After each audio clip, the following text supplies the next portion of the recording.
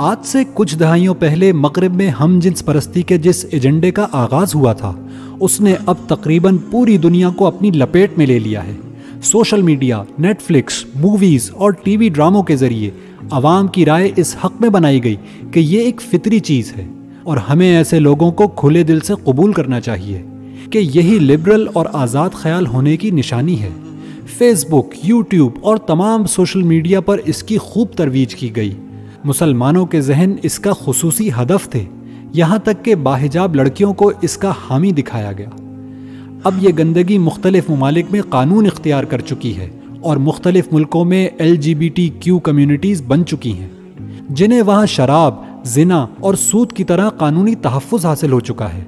सत्तर की दिहाई तक अमेरिकन साइकेट्रिक एसोसिएशन के मैनुअल में हम जिन्स परस्ती एक बीमारी के तौर पर दर्ज थी, जिसको बाद में इस फहरिस्त से निकाल दिया गया। हम जिन्स परस्तों के हकूक़ के लिए शुरू होने वाली इस तहरीक ने ट्रांसजेंडर के हकूक़ के नाम पर अब एक भयानक रूप इख्तियार कर लिया है, और वो है जेंडर फ्लूडिटी जिसके मुताबिक अब कोई भी किसी भी वक्त अपनी जिन्स बदलने का ऐलान कर सकता है। एक ऑपरेशन के ज़रिए अपने आप को लड़का या लड़की बना सकता है, और चाहे तो सर्जरी के ज़रिए अपनी जाहिरी साख मख्स कर सकता है।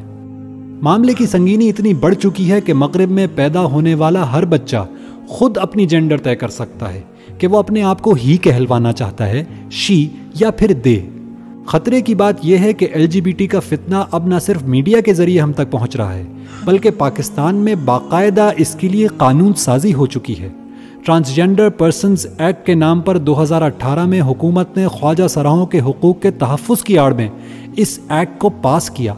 इस एक्ट की शिक नंबर दो और तीन के मुताबिक ये एक्ट सिर्फ़ तिब्बी मसाइल के हामिल लोगों, यानी हकीकी ख्वाजा सराओं तक महदूद नहीं, बल्कि ये हर शहरी को महज अपनी ख्वाहिश की बुनियाद पर मर्द से औरत और औरत से मर्द बन जाने की इजाज़त देता है। नादरा का इदारा भी इसकी तब्दील शुदा जिन्स दर्ज करने पर मजबूर होगा। इस तरह वो कानूनन अपनी असल जिन्स से शादी भी कर सकता है, यानी मर्द मर्द की शादी और औरत औरत की शादी में अब कोई कबाहत नहीं रहेगी।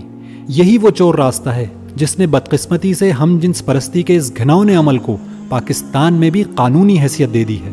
पाकिस्तान की सेनेट में इस कानून के खिलाफ तनहा तवाना आवाज़ जमात इस्लामी के सेनेटर मुश्ताक अहमद खान की है, जिन्होंने इस बिल को हकीकी ख्वाजा सराओं तक महदूद करने की तरमीम पेश की और जेंडर की तब्दीली को मेडिकल बोर्ड की मंजूरी से मशरूत किया कि आया वो वाकई ख्वाजा सरा है या महज अपने जहनी खलल, यानी जेंडर डिस्फोरिया की बुनियाद पर यह काम करवा रहा है। लेकिन तमाम लिबरल जमातों ने इस तरमीम को रद्द कर देने का फैसला किया। हमारी सियासी पार्टियों और पार्लियामेंट की मुजरमाना गफलत का ये हाल है कि जिस जहर से मगरब का ख़ानदानी निज़ाम आज तबाह हो चुका है, वही जहर पाकिस्तानी कौम को इंसानी हकूक़ के तहफ़ के नाम पर पिलाया जा रहा है। ये वक्त है कि पाकिस्तानी कौम अपनी नस्ल, अपनी अकदार, अपने ख़ानदानी निज़ाम और अपने दीन को बचाने के लिए फौरी होशियार हो जाए। कबल इसके कि ये जहर खुद हमारे माशरे के हर घर में सरायत कर जाए और हम इसको हासिल कानूनी तहफ़ की वजह से इसका कुछ भी ना कर सकें।